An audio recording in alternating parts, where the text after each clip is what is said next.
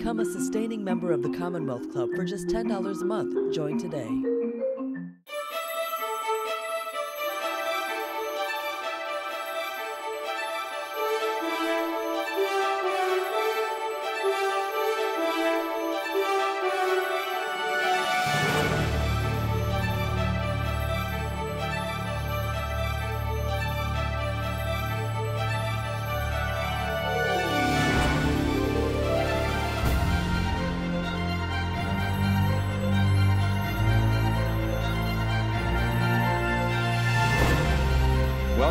Commonwealth Club. I'm George Hammond, Chair of the Humanities Forum, which organized today's event. I'd like to welcome our online audiences, our live stream audiences, and all those of you who watch the video later. This is uh, one, maybe over 600 programs that we've done since the pandemic started. Uh, we use the facilities and the uh, excellent tech crew at the Commonwealth Club in San Francisco to bring you as many intelligent authors as we could from anywhere in the world. And we have a great author tonight, Joe Weisberg. He's also the creator of The Americans, the television show. Um, and he has a book called Russia Upside Down, which is really going to turn upside down a lot of the ideas that we have about how we've dealt in our foreign policy with Russia. And it has you know, uh, knock-on effects in other countries as well. But we're going to focus on what the United States' foreign policy to Russia has been, how effective or ineffective it was. And Joe, thanks a lot for joining us here at the Commonwealth Club in San Francisco. Thanks for having me. It's a pleasure to be here. So, first, how did you get the idea to write something about this? I mean, obviously, you did a television show that was somewhat related. Um, so, but, but to write a serious foreign policy book. Uh, by the way, I also thought it was a very serious book about how to think more clearly. You have a lot of things in there about how you push yourself to think more clearly. We won't talk about that part of it. But it, doubles as a book like that, which I thought was very fascinating. Yeah, so. thank you. I appreciate that, and I do see it that way as sort of a, mm. a book about how I learned to think more clearly. And mm-hmm. you know, you always think you're thinking clearly, right?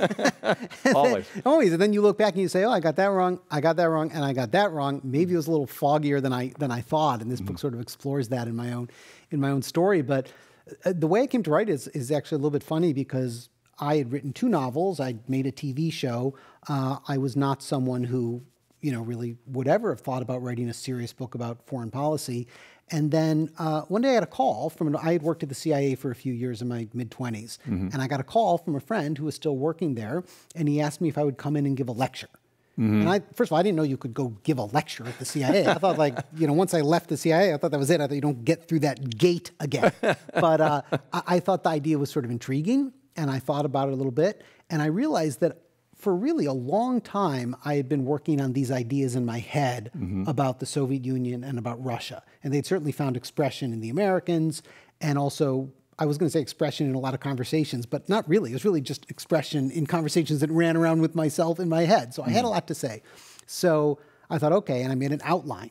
Mm-hmm. And I I'm going to talk about this and this and this, and I'm going to talk about it the CIA, which is going to be interesting because I'm going to really challenge them. That's an organization built to battle the Soviet Union, mm. I'm going to go in there and say that might not have been a good idea. So I called my friend back and said, okay, I'm ready to give the lecture. And he said, great, your topic is counterintelligence. and I said, well, I don't know anything about counterintelligence. I got this whole speech ready about the Soviet Union. He said, no, you can't give that speech.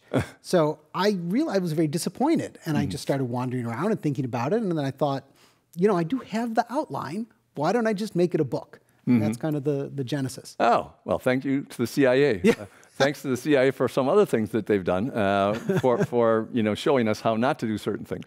Now, I, I think one of the things before we go any further is to understand that this is not against the U.S. policy. It's not saying you know we shouldn't have a foreign policy, we shouldn't have a CIA. But the question is, what do we do that's actually in our self-interest, and what do we do that actually is counterproductive to what we're trying to accomplish? And like a lot of institutions, uh, you know, you, the leadership sometimes has personal agendas which, you know, have such a deep influence on what the outcome is because their goal isn't exactly our goal. Democracy's always had this problem because the, the, the people who set the goals keep changing. Whereas, whereas if you've got a dictatorship, you know, you can maybe keep the goal somewhat focused for a couple decades. So counterproductive. You talked about the CIA in the book in a very interesting way. Um, that a lot of the work is not too much different than the KGB, not uh, that the CIA spies on Americans, but the KGB would spy on the Russians, and, and, and all these people were doing it, and it was almost all useless information. So talk about the CIA's you know, a lot of the things that go wrong in Russia, we also do, but not quite as badly. It's, it's what it sounds like. yeah, yeah, yeah. Well, it's interesting. I hope that's not just our unclear thinking. No, no, no, no. I, I, know, I know exactly what you're saying, and I think it gets to the. You know, you're talking about how the the leaders change and they have all sorts of different motivations. There's also a huge factor of unintended consequences. Mm-hmm. And everybody knows about unintended con- consequences, right? Be careful of unintended consequences. But it's not really enough to be aware of them. You have to really balance out if what you're doing is worthwhile. And I think that uh, spying is a really good example of that because the idea seems sound, mm-hmm. right? If you have an adversary, why don't you recruit some people who live in that country and maybe even work for that country and get information from them about what they're doing so you can do a better job fighting off that adversary. That makes sense. I, I sort of get that. Mm-hmm. But there's some pretty big unintended consequences, which is everybody knows you're doing it. Mm-hmm. You can't really keep that secret, it's well known, and it engenders enormous hostility in the country that you are spying on. And if you're the United States, that's a lot of countries. Mm-hmm. So then you have to do a balance. Is the information we're getting helping us enough to balance out all the hostility we're creating in the world? I would argue no. Mm-hmm. Now, I think that, you know, it's an interesting parallel, you know, when you're comparing to the KGB, um, the KGB did both internal spying on the Russian people and the exact same kind of external spying that the that the CIA did. And I think the point you were making had to do with a, you know, it's easier to compare apples to apples, but there is nevertheless a comparison to the internal spying they did, which is most of the KGB effort, resources, manpower was spent following, listening to, recruiting people from the Soviet Union to spy on their colleagues and people they worked with. And there's really very little reason to think any of it did any good. It was a giant bureaucratic effort that mostly had the unintended consequence of creating this kind of rift between the leadership and the people because the people felt spied on. Mm-hmm. For good reason. Yeah, it was happening, right? It was happening. Yeah. So, um, one of the historical things you talk about is the Soviet Union and Afghanistan. Now, we just had our own history with Afghanistan, uh, which seems incomprehensible after we caused the other problem back in the 70s. But in 1979, um, the Soviet Union invaded Afghanistan. At the time, there was a communist government there, but it was, you know, it was starting to fall apart. So, why don't you tell a little bit of the story about that? Yeah, it's a very uh, this was for me personally a very revealing story. Mm-hmm. Uh, in 1979, I guess I was 14, mm-hmm. and I was following and interested in these issues. You know, not as much as I was later, but I understood the general what was happening in the culture and how it was being discussed. And the kind of line of American politicians and American media was that the Soviets were going in there to spread communism, maybe to continue on and get warm water, ports. It was all seen through the perspective of the evil communists are trying to spread their influence and conquer. Mm-hmm. And eventually, uh, you know, Politburo meeting notes came out. All kinds of people could be interviewed once the Soviet Union fell. That isn't what was happening, mm-hmm. right? As you said, there was a communist government. They were afraid of that government falling and the United States coming in and spreading American influence right on their border. Mm-hmm. So it was really more about being afraid. And the the other great analogy that makes me think so much about us and how we act in general is that as the Politburo tried to decide whether or not to make this move, just like us with Vietnam, they knew that they were going to get into a quagmire. Mm-hmm. They talked about it. It was clear to a lot of them, and they kind of couldn't stop themselves because mm-hmm. of their anxiety over U.S. influence. They also, if you think about when we went into Afghanistan or Iraq, you know, you need to tell yourself certain stories to justify it. Mm-hmm. Here's one of the stories they told themselves. Our Central Asian republics in the Soviet Union are the most uh, kind of open Muslim societies in the world where women have complete equal rights. That's the way it should be. And if we go into Afghanistan, we can liberate the women of Afghanistan. Mm-hmm. Sound familiar? Sounds very familiar. right? Yeah. Yeah. Course, and we know what happened, which was not that. Yeah, and it, I think it's a it's a, a, great temptation to want to fix another person's culture, but at the same time they're trying to fix yours. If you, you're you're saying, you know, we have freedom in San Francisco that other people call debauchery, and, and think that it should be stopped. And it's not just people outside our country, some people inside our country feel the same way.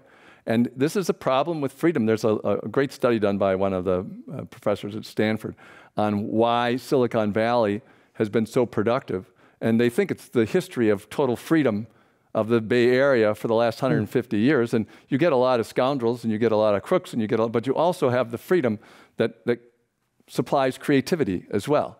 Um, and so a free society may, may have a lot of downsides to it.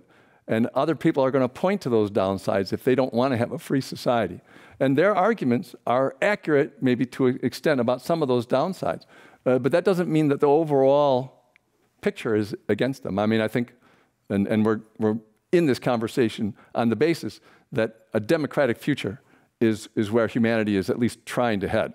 And, and that's where we're trying to get. And we're not trying to say don't have any foreign policy, but just have a smart foreign policy so we can actually get there. Because right now, what's been going on has been very counterproductive. So that period of time, I thought anyway, um, being 15 years older or so, uh, I thought that Zbigniew Brzezinski was, was kind of personally responsible for this decision. Um, he, he was, had a Polish background, hated the Russians for all kinds of good reasons, wanted to stick it to them as the United States had just gotten stuck to them by the Russians and others in Vietnam, um, and, and, and made a bet on the Mujahideen to do that. Uh, a very, very bad bet. A very bad bet with, yeah. with pretty tragic consequences. Yeah.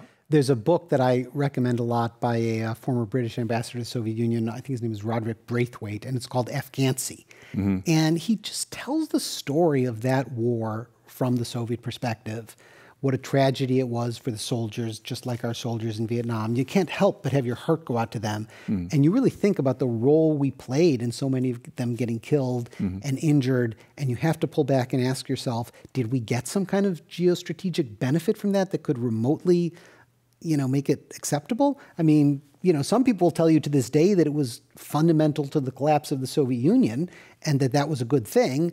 I, I don't, I don't I don't think that the majority of experts who have really studied it think that. I think they mm. think it may have contributed a little bit, but the primary reasons the Soviet Union collapsed were internal problems, not so much related to that. But the book also, you know, details certain aspects of Soviet life that were a real shock to me. Um, for example, when a Soviet soldier was killed, he would generally be brought back home by a couple of people from his unit. And often they were these their coffins with their bodies in them were brought back to these little villages and towns where the people would surround the officers who had brought them back and sometimes started riots and physically attacked them. Mm-hmm. And I, I couldn't imagine that that could happen in the Soviet Union. I thought the level of control was so uh, extreme that no one would ever dare do anything like that. Mm-hmm. And that was I think for me, one of a lot of things I learned that sort of shattered this idea of kind of the totalitarian Soviet monolith, mm-hmm. which was, I think, a, a, little bit of a story we told ourselves to help ourselves see them as bad mm-hmm. and us as good, and them as evil and us as virtuous. Um, the other thing I wanted to mention about what you said is, you know, this idea that we want a democratic future, and I think that's, of course, what we want for us. Mm-hmm. And we seem to have our hands full getting that for us. So, you know, we let other people do what they want to do. I remember when I first, you know, when, you know, back in, in that same era in the late 70s and mid 80s, I thought that Sakharov and Sharansky and the various, you know, dissidents and to some degree, maybe less the refuseniks, but the various dissidents, I thought they were not just the conscience of the Soviet people, but I thought that they had very broad based support mm-hmm. and that people couldn't admit that they liked them because they would go to jail and be, you know, repressed in various ways. And it was just, it so happened that those people thought exactly how we thought about mm-hmm. what a government should be like. That was incorrect. Mm-hmm. Those people had very little support in the Soviet Union. Um, that was not what people wanted. To this day, democracy doesn't have the sort of ring there that it has in our ears of being some obvious positive mm. value and system. And after the collapse of the Soviet Union, when people were pretty free to say what they wanted, at least for a while, there was no outpouring of support for the dissidents. They weren't people's heroes at all, they were mm. marginal. You, you go into um, Gorbachev and, and the fact that he's a hero here and he's not a hero there. Um, that's another angle of the same thing and why. and then, and then why Putin uh, is a hero. So why don't, why don't we talk about Mikhail Gorbachev? Yeah. I wrote, I wrote him a letter uh, in, in uh, 89 when the wall came down in Berlin. And I said, okay, here's your opportunity. Go to the UN, give a speech, and in the speech say, we Russians are extremists. Now, we took this idea of Karl Marx to an extreme. He was talking about what's going to go wrong with capitalism unfettered, um, and, and there were lots of problems with that. Uh, we went to the other extreme. But the result of you reacting to this is the social welfare democracies that you have in Europe and America, and that is a sustainable form which didn't exist before. So we should be thanked for being on this extreme while you were on that extreme, so that we all ended up at this place which is sustainable. That was he, of course, didn't do it, but yeah, but that's exactly right. Yeah. I mean, I think that's exactly historically accurate. You know, if you're living here in America and you've grown up more or less when we did, and there are the sort of social benefits of the social welfare state to some degree, obviously much more in Europe, but not mm. absent here. You don't I mean, you don't think about was there a time when this didn't happen? Where did this mm-hmm. come from? You just think obviously we had some ideas to try to be more just and fair states, but it really was a consequence of what you're what you're talking about. Yeah. And Gorbachev was such a, a fascinating guy. I think hard for Americans, myself included, to get our to wrap our minds around because he was so obviously extremely decent, humane mm-hmm. person. He was just a you know a good person with good values apart from mm-hmm. politics or anything else. And he was a very committed communist. Right. Right. He believed in his heart and soul in the system he had grown up in, and he wanted to reform it and fix it, which was that was a good idea. It mm. needed to be reformed and fixed. Obviously, that did not work out. Yeah, he was uh, like the Thomas More and Erasmus of the Catholic Church. Um, they tried to re- reform it, and then Luther came in, and that was the end of that. Right. right. Uh, so, so uh, in, in Gorbachev. Oh, sorry, sorry. I was going to say one more thing oh, yeah, in response to your question, which is that we tend here to see him as a kind of a heroic figure because we relate to the sides of him that wanted freedom and openness and really did create that in the mm. latter years of the Soviet Union to such a substantial agree, degree. So we focus on that and think this is a great man and a hero. But he's not. He was not popular I mean, for a little while he was popular. He did not end up popular in the Soviet Union. He's not popular in Russia because, of course, from, from their perspective, what is his single greatest legacy? The collapse of their country. Mm-hmm. Of course, they don't like him. Right, exactly. He's got like 1% approval rating, something like that. Right. Um, so you, you talk about how Putin then, I mean, the Yeltsin period is a fairly short uh, period and, and uh, all full of problems. Um, but Putin came and was understood by the people, uh, and he played right into this, um, of being the leader who will put things back together. Now, they see that, that that's what he did. And his popularity is the obverse of Gorbachev's unpopularity because of that. So why don't you explain a little bit about that? Well, I think you, you said it very well. You know, the Yeltsin years were an ongoing disaster, mm-hmm. economic, social, people were, you know, people, it had not been a well off country in the first place, and it got a lot worse. Crime was rampant. The mafia was incredibly powerful to a degree we can't really, I don't think, understand in the United States. You know, people were starting to talk about the possibility of Russia becoming a mafia controlled nuclear state. Mm-hmm. I mean, it was bad. And Putin came in and he essentially successfully restored a level of stability. It's not that he got rid of the mafia. It's not that he made everything in the country great. It's not that the economy suddenly became fantastic, but the economy stabilized and got better. The crime was gotten under a degree of control. Federal authority was reasserted. Essentially, it became, again, a coherent state mm-hmm. that had been really teetering. And again, as Amer- it's at least until recently, I mean, as recently as when I started writing this book, mm-hmm. it was very hard as an American to relate to the idea of being in a teetering state, mm-hmm. right? Because our state has been really stable for a long time. But if you think about it, do try to put yourself in that position. And again, I'm not quite saying we're teetering now, but we're mm. closer to teetering, so it's probably a little easier to get it. it's not strange that your number one uh, goal and value would be stability. Yeah. I, I, I, think of El Salvador in the 80s. There, they, uh, there had been a war there for such a long period of time. We finally arranged for elections. And everybody was so upset because uh, they voted in a military uh, government, very right wing, 80% of the vote. And, and all the Americans going, What are you doing? But the reason is because they had just been in a war and it was chaos for that long. That's all they wanted. You know, the middle, the middle of the political spectrum is comfortable if you can get there from either extreme slowly. Um, but if you're near chaos, you, you, you go to the other extreme. I mean, I think that's human history. There's just like no, no other choice. You know, what's interesting is as you and I talk about it, it sounds it sounds quite obvious. Yeah. And in fact, I think to us it is obvious. Yeah. But I don't have to look back too far in my own life to a time when it wasn't obvious. Mm-hmm. So I asked myself, what was what was blocking me? What kept me from seeing these sort of really pretty basic things about human nature? And I, I just ultimately think that my own need to view both myself personally and our country as superior mm-hmm. and as virtuous and as good was so powerful. And then at the same time, if that was me and that was us, mm-hmm. right? Then if the other side was it's just a black and white situation, the other side was the opposite, they were mm-hmm. evil and bad and malign, then I could fight them. And that also gave me a purpose in my life. So, you know, it was very, I think, kind of unsophisticated way of viewing the world. And as I sort of hint in the title of my book, kind of upside down. But boy, I, I thought and felt that way for a long, long time. Yeah, it's, uh, it's so much easier black and white than it is. Uh, we're light gray and they're medium gray, and this one over here is a little darker gray. Well, that, and we reserve this for North Korea, et cetera, Right. et cetera. You know, Right. you just uh, look at it. You don't know, actually, it's an emotional thing. You don't have a set of standards. If somebody enslaves their people, kind of everybody goes to the extreme and say that's, that's way too much.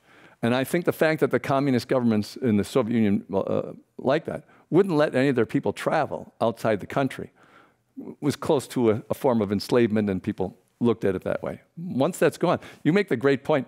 You know, we wanted Russia to become uh, more uh, Christian, more open, more democratic. That's what they did, and then we didn't like them anyway. right. That's right. And more capitalist, right? Yeah, yeah, Which more capitalist. All the things we wanted to do, they did, and we don't like it. You know, it, it, it, I, I often feel uh, about Russia and the way other people, other Europeans and Americans treat them. Yeah. The way, you know, in a big family, you know, the youngest in the family, right? So the youngest in the family, it's like, when are you going to treat me as an adult? You know, when, when are you going to? And, and I think Peter the Great, even when he started and he created uh, St. Petersburg, was trying to say, we're, we're European, we're European. And I, I feel very strongly that, that Putin, with the, the uh, Winter Olympics at Sochi, was trying to, he was putting on a big show, but he was trying to say, look, we're Europeans. Look at all, everything that we contributed. And he focused on 19th century stuff, all their ballet, all the great music from the 19th century, their authors. Right. We, this is who we are. Look at us this way. Forget about those 75 years we were communist Right, right, right. you know, but nobody bought. Nobody bought that thing, just like they didn't buy Peter the Great. It's frustrating. And it was the next year that he took Crimea. I, I really, I really feel that this is like a lost opportunity. Yeah, yeah. All we would have had to say is, yeah, Russia's great, and we love your music, we love your authors. We're gonna, we're gonna keep them in our universities for the next thousand years, no question about it. Yeah, yeah. Yeah. I think that's right. You know, it, it's uh, you know the, the the sort of political version of what you're talking about that runs exactly parallel and is the same is that when Putin came to power, it seems it's hard to know for sure, but it seems very likely that he was fairly open to the West. Mm-hmm. Whatever his background was in the Soviet Union and the KGB and the way he had grown up and everything else, when he came to power, he seemed to want a degree of economic cooperation so that he could have trade and help his economy. Mm-hmm. And of course, it's sort of a famous story, but he was incredibly emotionally, openly supportive of us after September 11. Mm-hmm. You know, in part because he was in a war in Chechnya and wanted a kind of you know global consensus about terrorism. Mm-hmm. But so what? That's that's that's valid. Right. And you know, you you could sort of track it over the years as that openness shut down, and he mm-hmm. became more and more. I think got the feeling that you're describing of, I, I, I can't, we can't win. We mm-hmm. can't win with the West. And it's it's you know one of the things I do in the book is try to kind of list the things we did to move them in that direction. Not to say that it was all our fault, Right. and not to say because it was a back and forth, a tit for tat that has been going on since even before the Soviet era, really, but mm-hmm. certainly throughout the Cold War. But you know, the best example is that we started expanding NATO eastward after Mm-hmm. the collapse of the Soviet Union. It's a little bit unclear. Probably we promised not to, but I'm not sure that even matters. Mm. We started taking former Warsaw Pact nations into the NATO. Mm-hmm. After Putin took over, we started taking former Soviet republics into our defense alliance forged to fight the Soviet Union. Mm-hmm. How are they supposed to feel? You know, and, and then you even look at their own history of being run over and destroyed so many times. They're starting, they start to feel encircled. Mm-hmm. I would too. Yeah, you know, the only thing that they can do under those circumstances is say, you know, come and get us in the winter. that's, that's when we win. Yeah, that's right. We still got the winner. Um, you mentioned, and, and it's been mentioned plenty of times when we've had some things on here about the Cuban Missile Crisis and everything, but I think it still bears repeating that, that we had missiles in Turkey before they had missiles in Cuba. And, you know, it might have looked fairly similar to them, and they might have felt, okay, that's where we should go next, you know, that kind of thing. Yeah, right. I bet that wasn't in your high school history textbook. I don't think so. when you learned about the Cuban Missile Crisis, yeah. and it's so it's just literally just cutting out Mm-hmm. what we did that either provoked it or at least played our share.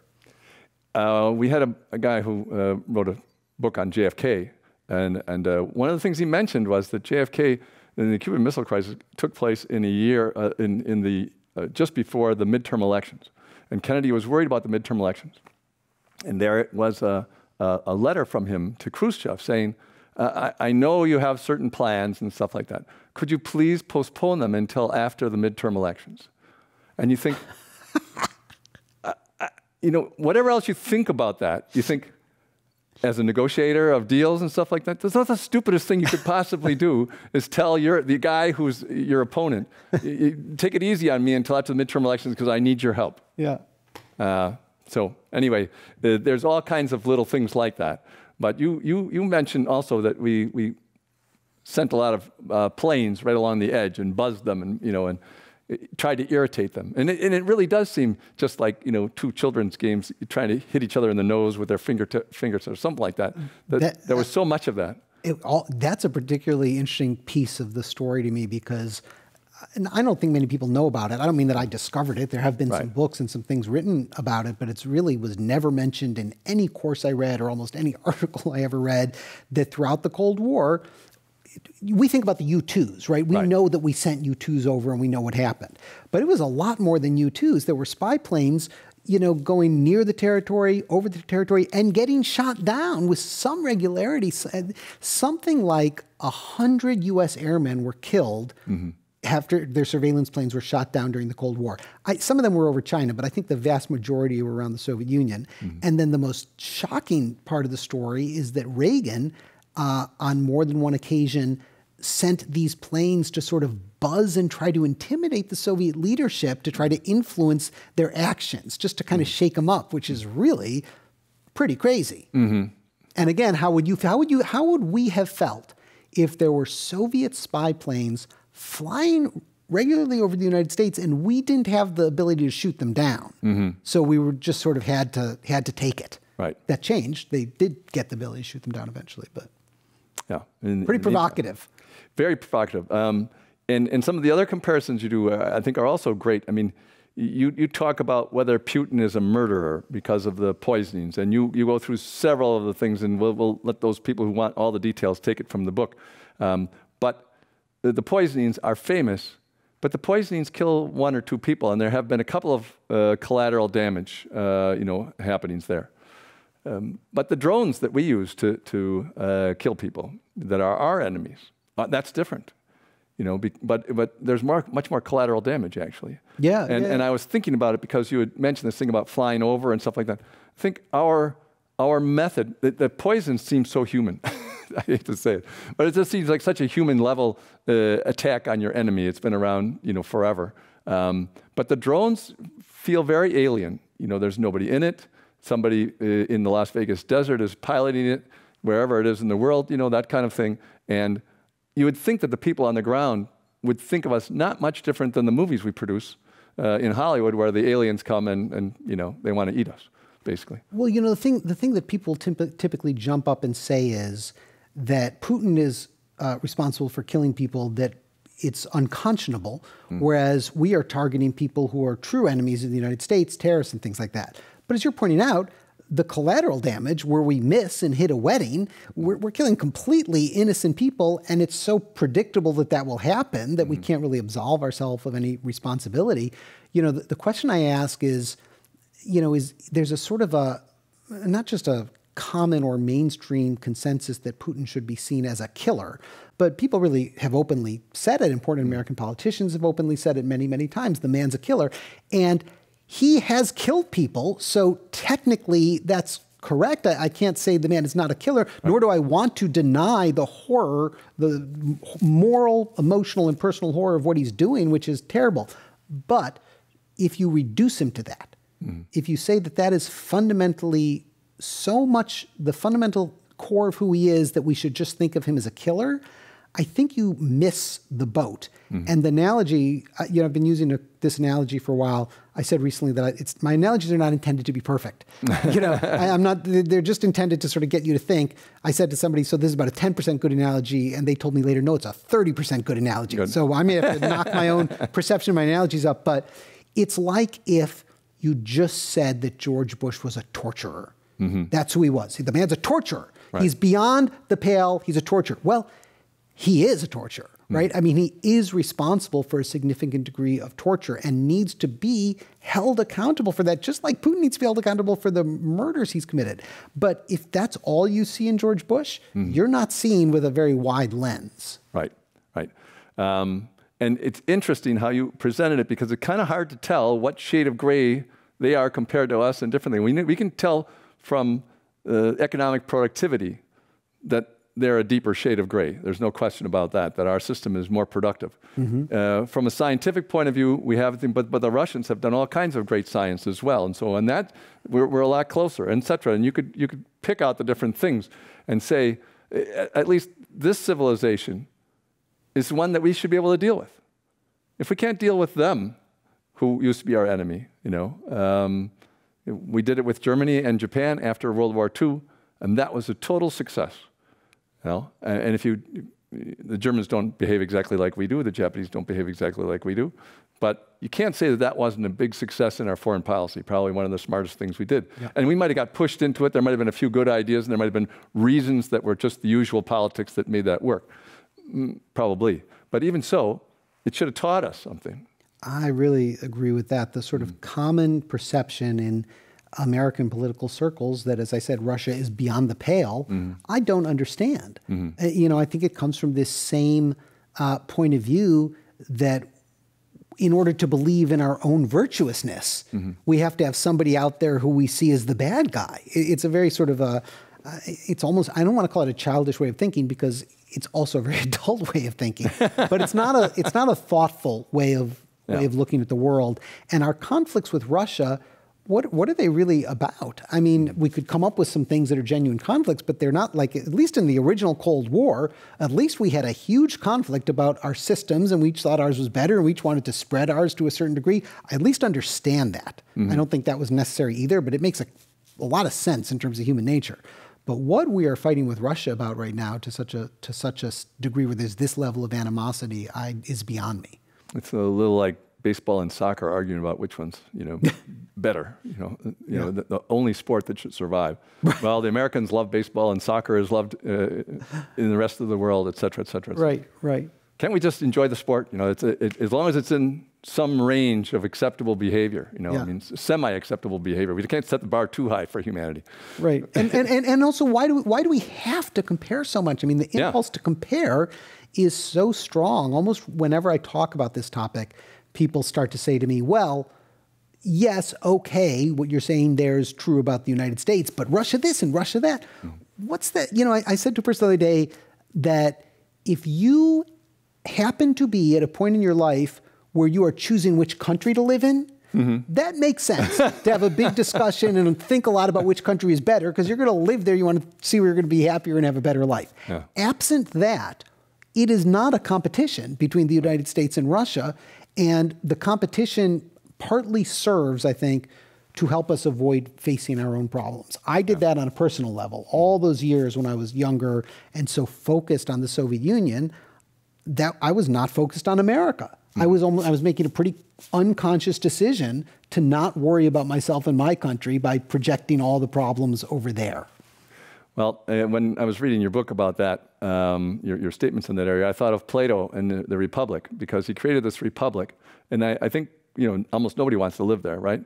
um, and but I think basically he was uh, trying to create a society in which he would feel comfortable, right? Right? And and you'd say, okay, Who's well you're very there, orderly right? and so on and so forth. But that's the same same old same old Plato, you know. Uh, so why don't you get comfortable in yourself and then and then you know stop trying to change the rest of humanity. There, there's things at the edges that obviously almost everybody agrees we can't accept uh, a certain kind of behavior, but almost everything else has been accepted at one time, or even lauded, or praised, or put on the pedestal, you know, at some time or another in the last 5,000 years. Um, and I, I, think if we're if we're going to move towards democracy uh, and really decentralize, you know, things without getting to chaos, that's that's what the basis of it will be. To say we really don't it really doesn't matter what our neighbor five blocks away does at all, period. You know, as long as they're not, you know, uh, theft and murder and rape. Right. Something like that. Right. Uh, and, and all those are violating our free wills.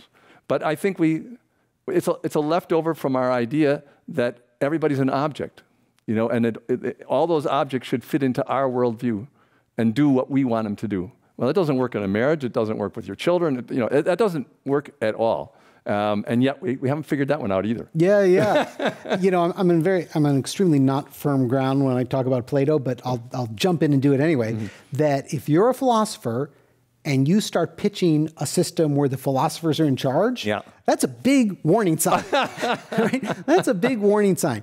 You really should, you know, take a look at that. And, and I think that all of us would probably, I know that it has served me well to kind of pull back. You know, there's a lot of great work being done where on the issue of where do our political belief systems come from. Mm-hmm. Uh, Jonathan Haidt writes very, uh, right. I think, effectively about this that we think our political beliefs come from a sober analysis of the facts and mm-hmm. reason and logic, and therefore we are right about them, mm-hmm. but they don't. They come from our emotions and our feelings and our predilections and the way we grew up and our relationships and everything else. That's where our political beliefs come from. And then, then we get all the ideas and the facts and everything that we think support that. Mm-hmm. And if you can sort of understand it more in those terms, it's easier, I found it easier to pull away mm-hmm. from the from the very seductive idea that I'm right mm-hmm. and people who disagree with me are wrong. Mm-hmm. And instead, you know, try to live in a world where it's not that I'm right, it's that I have some beliefs and views that come out of my own internal logic and system, and so do they, and we ought to respect each other. Well, I think part of the issue, this is back in America again, uh, of the division that people keep talking about in America between red and blue states and all that kind of stuff, and, and the, the social media exacerbating it, um, is is that the social media plays off those emotional part of it as opposed to the ideas part of it. I think you could, you could change the ideas of both sides and they would hardly notice. That's right. They'd you know, be just as happy. the fight would still be going on. And the, the, the, other thing is, you know, that I don't think that the division is anywhere near as strong. I know a lot of the states, it's close to 50 50. And so even, even where it's a red state, it's, it's still not 100% or even anywhere close to that. And uh, it, most of those things that people are disagreeing about are fairly peripheral issues. Everyone kind of agrees. I mean, defund the police started for a while and then you know it's it's it's backed off, and and uh, people didn't pay attention to the sophistication of the idea. They thought that it meant take away all the money from the police. Obviously, that's a stupid idea. But but to take some of their job and move it to somebody else who might be able to do that job better, you know, that's that, that might work. At least, at least worth an experiment, right? Yeah, uh, you know, really, yeah. I, I, agree with that. It really makes me think again to the Cold War, mm-hmm. right? Because in the Cold War, we we were just divided. There was us and they there was them, and they were wrong and we were right.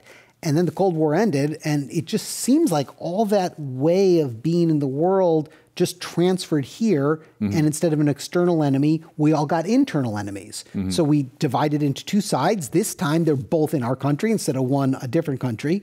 And everybody on each side, not everybody, but the general feeling on each side they're completely right. They're good. They're virtuous. The other side is the opposite of mm. all those things.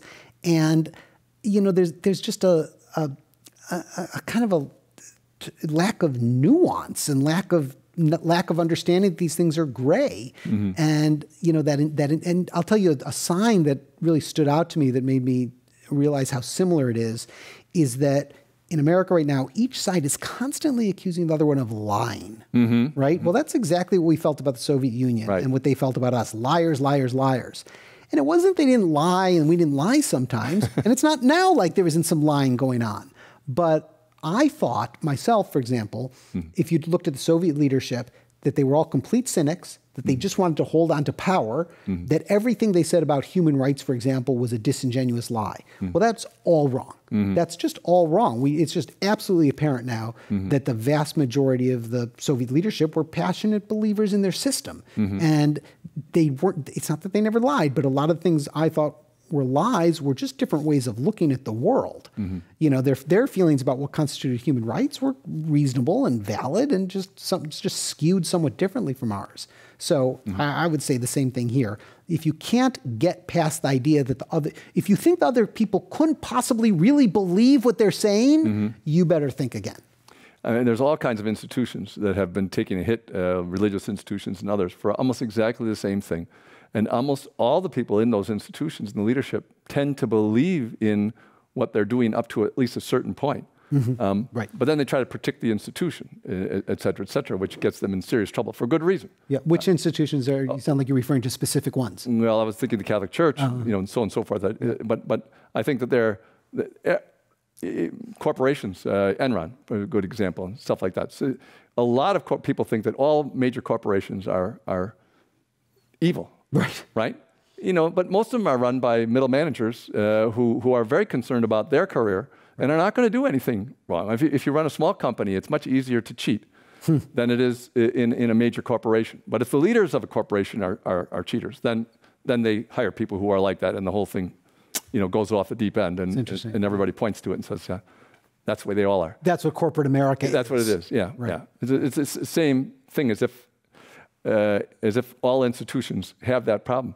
And it seems to me that you know a part of the argument about any institution is it can't get too big, but it just one thing we have learned is the balance of powers, you know, between institutions i- in our government, and I think there's a balance of power between, say, institutions that are designed for spiritual and religious ends, and ones that are designed for economic ends, and ones that are designed for political ends, government ends, and, and artistic ends. And we have to have big ones of each of those to play off each other. So that, so that there's not just big governments making all the decisions, uh, uninfluenced by all these other issues that are part of human life. Right. Right. Right. It's another way of balancing powers. Yeah, yeah. I think uh, that's interesting. And you know, when you're talking about it, I was thinking how th- the part of the temptation of having the more simplistic view of it, more black and white view, is it really reduces anxiety, right? If the world is black and white and simple, and you can understand it. You feel less anxious because you, you think you know what's going on and you think you have a better idea how to make your way in the world. If the world is really complex, and ultimately, maybe you can understand some pieces, or you can understand this, or understand that, and you might have to change your mind tomorrow. That's a that's a very anxious way to live, and you may not know what to do, and you may not know what to think, and you may not know what to say. You know, uh, Masha Gessen, by the way, writes about that as a uh, you know one of the appeals of autocracy. That if the leadership really just tells you what to do and makes things simpler for your life, you don't have to be as anxious, and that's very appealing. Now, there are some um, immigrants from the Soviet Union that came here in the middle of communism, and they were anxious by our department stores and our, our grocery stores because there's just too many choices. It's a, it's a habit. Yeah. But let, now that we've set the stage, I want you to completely blow uh, people's minds with some of the, the stories about how different the Soviet Union was from what you'd think. Yeah. The example I want you to talk about is, is the legal system, which is full of problems, but their humane execution system.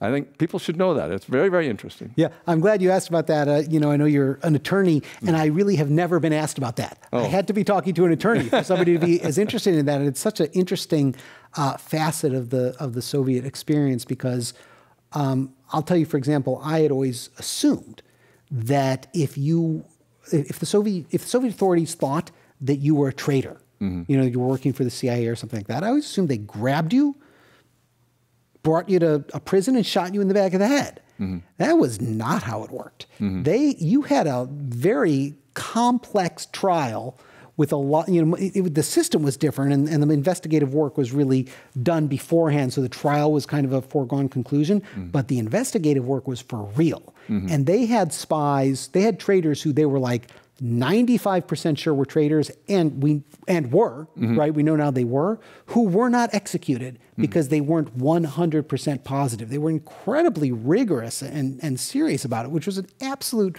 revelation to me once you think about it it's not surprising they were human beings too mm-hmm. but if you had this view of them as kind of just these black and white characters then it is surprising anyway i read a book um, there's a guy named Sergei Kostin who was mm. our consultant on the Americans, and he wrote an incredible book about a Soviet man who had spied for the French.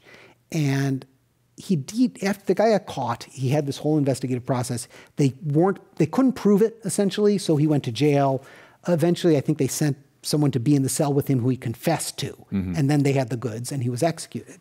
And Sergei describes the process of execution which was common. It was not just this guy. This was mm-hmm. how they, at that period at least, this was how most of their executions were done.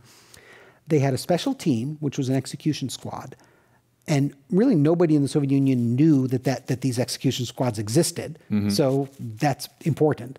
They would come to the person, if the person was sentenced to death, they could appeal. Mm-hmm. And the appeal was real and sometimes granted.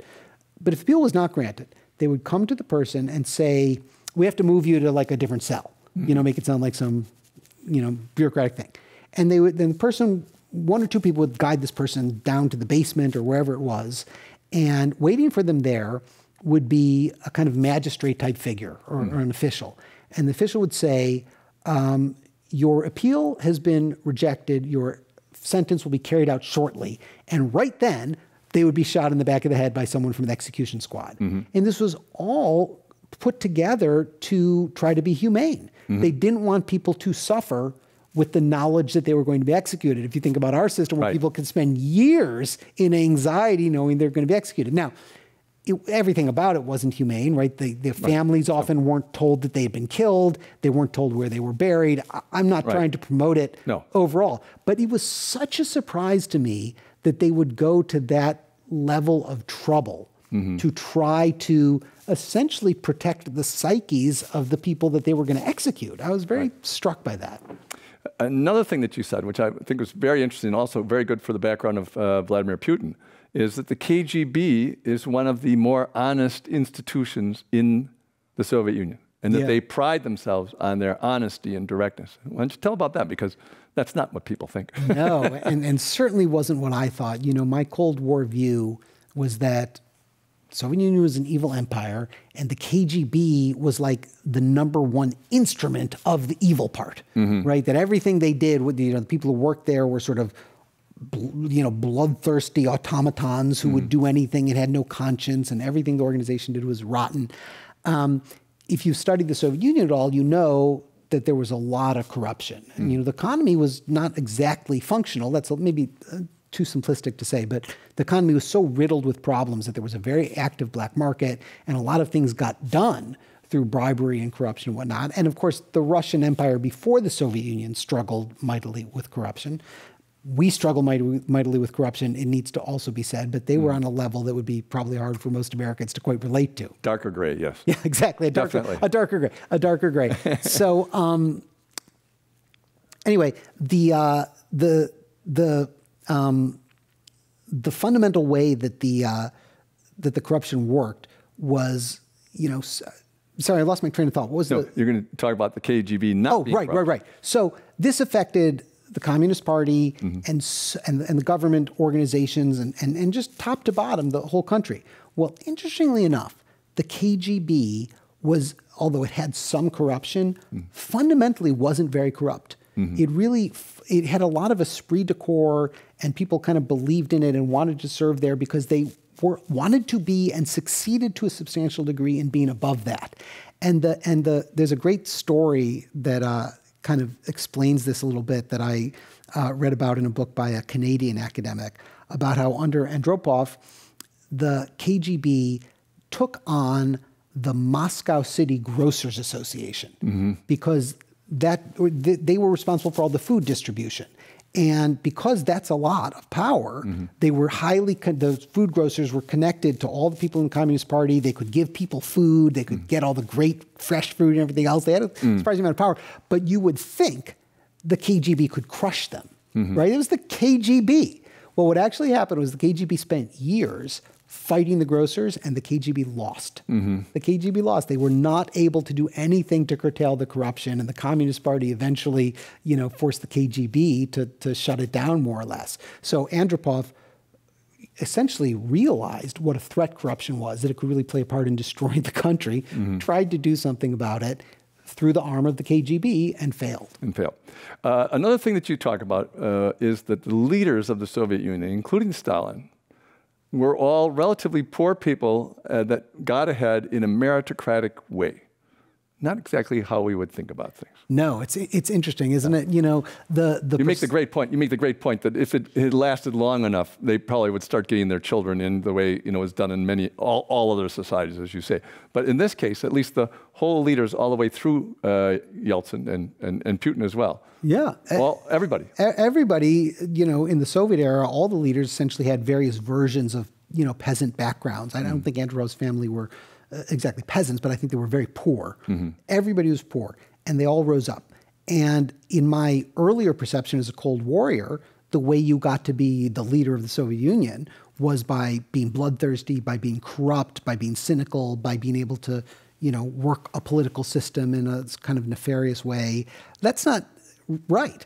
You know, really, these guys were all really smart and really talented and really good with people. They weren't all the same. They mm-hmm. had, you know, like any leaders here or anywhere else, they had different skill sets in that area, but they were not dummies. You mm-hmm. know, when I was growing up, they were the, the, the leaders, the people running the country were so old, mm-hmm. and, and, they were sort of falling apart health wise, and it was easy to have that become the perception of really what they were like. Mm-hmm. But take Brezhnev for example, who was a younger man, was you know, very smart, very well liked, very good at getting people to work together and get along with each other, very idealistic, wanted to play a big role in promoting world peace. Mm-hmm. You know, compared that to the Brezhnev of his final years, he's hardly recognizable. So obviously right. he stayed in power too long. Yeah, I, I, just think those were all fascinating looks at, at how different it was um, from what we perceive it to be. On the other hand, of course, they, all, all the things that, that uh, we are upset about about the Soviet Union also are all accurate. And I think it's important to, to, to hold both of those things at the same time, you know. And, and, and then I think they begin to look human. yeah, I, I want that we can deal with this. You know? I, I want to second that because I, I went to great pains in my book to make it clear that all the nasty and dark sides were true mm. and accurate, and our general perception of those was correct. Mm. The problem was that we perceived it as the whole picture. But sometimes when I'm in my enthusiasm in talking about it, I forget to mention that. So I'm glad I'm glad you brought that up because yeah. I don't want to be seen in any way as denying that. It's what yeah. you say. It's people are complex and we're complex. Yeah, there's nothing naive in your book, and I think that that's that's one of the great things about it because um, we're here in the world, and we have this plan. Like you said, what is the what is the United States foreign policy about? Are we are we just trying to prove we're superior to other countries? Well, we can do that, uh, but we can even even with that sort of silly motivation, uh, we we could still be much smarter um, than we are about going about doing that. But if we're really trying to to make the world a slightly better place for people outside of our country, while we're making our, the world a better place for the people inside of our country, partially we're we're projecting outwards what we should be doing inwards, right? And, and we know all about that. And uh, it's uh, a comparable situation today is in China with the Uyghurs. You know, uh, they're being clearly molested, but they're being molested in a way which is almost identical. We had a speaker in here just a couple of weeks ago, um, Margaret Jacobs, almost identical to what we did to the American Indians 100 years ago. We want that land, we want this situation. Uh, you're a small part of the population, you're in our way. We can pretend we're doing things in a nice way, but really what we're doing is even if we don't kill you directly, we're trying to take away your culture and make, make you assimilate and absorb into, into our culture. It's interesting because we let the Amish, you know, a small enough group, uh, do what their thing. Um, the Mormons have gotten into a very big group, but they were out in Utah for the first 50 years when Utah was forever and away away from everybody else, right. and, and therefore um, their timing was perfect because when they were in Illinois, they weren't going to survive. Right? Yeah, yeah.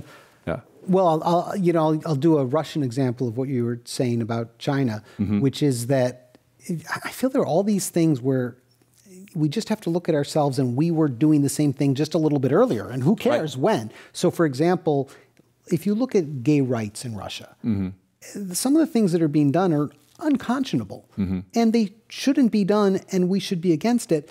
But we did them. We we were the same, and it wasn't very long ago that we were the same. And by the way, believe me, we're not altogether not the same now either, right? right? So then the question becomes, what? How do we approach it? How do we approach it? Well, my position is that as individuals, as private citizens, it's good to speak out against it. For private organizations that promote, for example, gay rights, it's very important. They, they have a, the main role in speaking out against that and trying to push things in the other direction with whatever pretty limited influence they will have. I don't think it's the role of the government. Mm-hmm. I think when our government starts doing stuff like that, they create an enormous amount of conflict. It doesn't really accomplish anything. I, I, don't deny that once in a while, if you go back to the Soviet times, once in a while there might some good things might have happened mm-hmm. happened from the, our government being very critical of them. But overall, it's very destructive and creates mm-hmm. a lot of resentment. And the government's job, I think, should be more to create peace and avoid conflict. Mm-hmm. And they don't. It does. Our government and our government doesn't have to play the role of saying you're bad, you're bad to another country. Mm-hmm. So the main way we can accomplish positive things in the world, first of all, you have to realize your limitations. Right. We're not going to be able to change another country. Second of all, private individuals and organizations speak out. And then finally, and of course, I'm hardly the, I'm one in a, I'm the millionth person to say this, but lead by example. Yeah. You know, which is the same as focus on yourself. That's Make yourself hard, better. Hardest thing to do. Yeah. right. But, but, you know, we're, we're a lot like someone who stopped smoking last week. Yeah. You know, and, and now tells everybody how terrible it is that you smoke. Yeah. Uh, and and uh, patience to me is is uh, accepting the reality of a situation emotionally, and and this is the way change is going to be accomplished. It's not going to be accomplished by irritating. Uh, you know, all we have to do is learn from how we deal with teenagers. You know what I mean? because if you if you're not patient, uh, you're, you're only counterproductive. Whatever, whatever you do and say is only counterproductive if you're not being patient. Yeah. Well, I'll give you another one of my analogies that because of my new analogy, self esteem, I'm going to now say is a 30% good analogy. Mm-hmm.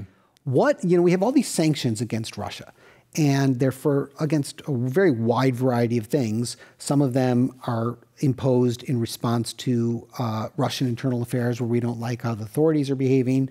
Some in response to Russian foreign policy going into Ukraine, what they've done to Navalny, et cetera, et cetera, et cetera. It's mm. a very long and broad list. And I ask, what if, after George Floyd was killed, China leveled sanctions on us? Right. Right?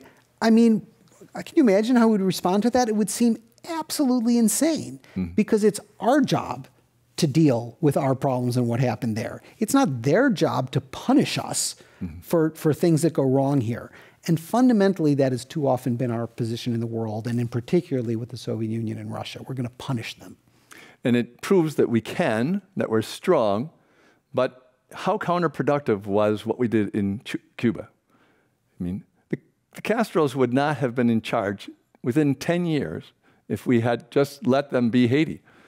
You know, what, what was that was all about we can punish you um, and, and the people of Cuba have suffered, and, and we have suffered, and nobody's gotten any benefit out of that at all. I right. It, it, it, probably is some sort of rule of like thermodynamics that it always bounces back, right? If yeah. we had not, if we weren't so devoted to punishing and threatening Russia, maybe they would not be so devoted to interfering in our political system and in our elections. I, we don't know that for a fact, but it seems like a reasonable guess. Yeah.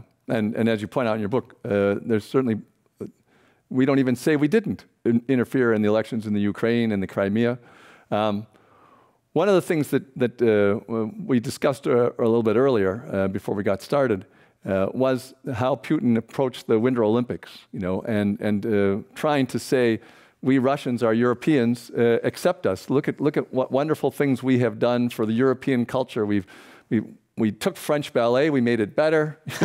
you know what I mean? We, we, we, we took classical music from the Germans. We put, you know, it's almost like uh, classical music with Russian characteristics. Uh, and then you get Tchaikovsky and Rachmaninoff and so on. Um, and, and everybody loves this. Everybody loves this about Russian culture. And Yeah. maybe, you know, we can skip over the communist period of time. But, you know, take us back. We're, we're, we're part of the club. Um, why, don't you, why don't you let us back into the club? And the fact that they were accepting of, of the union with, uh, inside Germany, with uh, the whole history between Germany and Russia and all that, uh, is is very, a very clear sign that they were willing to try to work with Europe.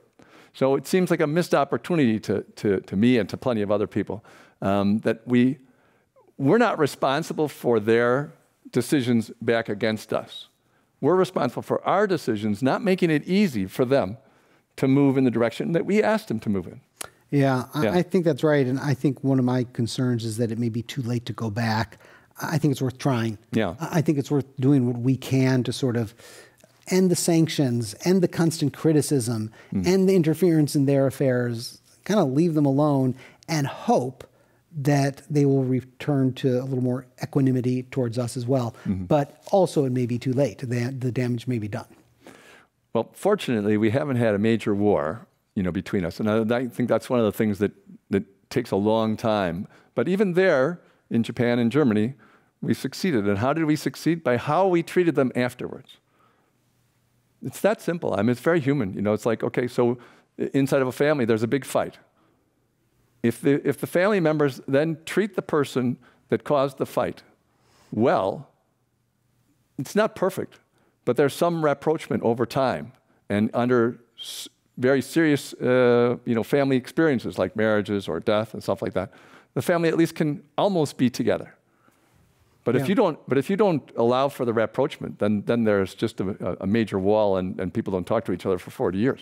Yeah, and it's no surprise really that it follows very similar dynamics to a family or Right. relationships because it's all just people getting along, right? That's what politics is, that's what foreign affairs is. It's groups of people and it's got that its own sides and its own complexity, but it's still human beings living with each other. Yeah, and you know, if you don't want to have no hope at all for the future, then you kind of look at people uh, that follow the Yankees and the Red Sox, and you say, if these people are willing to feel as strongly as they do about baseball, what are they going to do about something a little bit more important? Right. You know, so so I, we we are we are that way emotionally. Yes. Uh, and there's there's a reason for it. There's some fundamental psychological reasons for it. But that doesn't mean that we can't, you know, get a little bit out of that that framework. Yep. So let's talk about the Americans. Okay. Um, you, you tell everybody how you came up with this idea. I, I think it's, you know, I mean, obviously, extremely popular television show. You were not known for being a television writer or uh, anything before that, and then you come up with your first one or, or whatever that's so successful. Everybody will, that's out there wanting to write is going to ask for the, the secret to that. Yeah, yeah, yeah. Well, you know, um, I mean, I had my own bizarre path. Everybody's path into Hollywood is a little bit different. But uh, I had written a spy novel about a decade after I left the CIA, and an agent in Hollywood called me and said, "Do you want to write for television?" And I said. I hadn't thought of that, but that sounds like a good idea. I'm broke. I probably wouldn't be as broke if I were writing for television. and he spent a long time sort of teaching me how television shows work, which is not something I had learned. And uh, I ended up writing a, a pilot about a uh, CIA station in Bulgaria. Mm-hmm. And it was sold to FX, which was the network that ultimately made The Americans. And they didn't make it, but I got to know them. Mm-hmm. Uh, and I sort of started working in TV. And I worked on a, a show called Falling Skies as, a, mm-hmm. as a staff writer, science fiction show. And then in 2010, as I'm sure you remember, there were all these Russian spies arrested Right. in the United States, and uh, I think about I think there were ten of them, and they were what were known as illegals, which were spot they were living in the United States as if they were American citizens. Most of them, not all of them, most of them. Um, and this was a very bizarre type of espionage that nobody but the Soviets and later Russians really practiced. But I got a call from some people I had worked with who said, "Why don't you do a show based on this?" Uh-huh. And I really wasn't sure at first. I said, "Let me think about it." I started wandering the streets because something about it. As soon as they were arrested, I thought, "What are they? What are they doing?" Hmm. 2010. What? What? I mean, I barely believe that espionage does any good in the first place. Right, right, right. A bunch of Russians who don't have any access in America. I just didn't see it. And then I had two thoughts. One was that you make the Soviet the Soviets the heroes. Mm-hmm. So instead of like a story of FBI chasing these guys, you Right. make them you make them the main characters, which was, in, as you can tell, would Right. be of great interest to me.